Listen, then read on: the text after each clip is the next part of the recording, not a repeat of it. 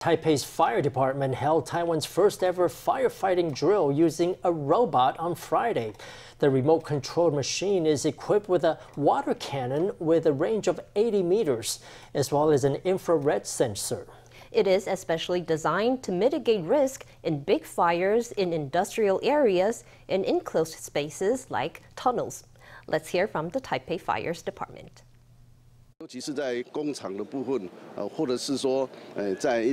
In factories and in spaces like tunnels, we can deploy the robot to help firefighters respond more quickly and safely.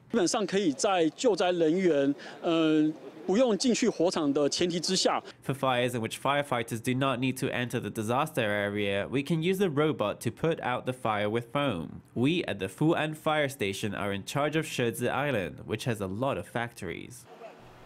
The robot was imported from Austria at a cost of more than 10 million NT and is one of two currently in use in Taiwan. It has fans that can blow 90,000 cubic meters of air to clear out smoke.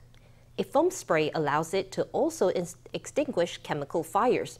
The remote controls have a range of 300 meters, and the robot itself can move up slopes and deal with obstacles on its course.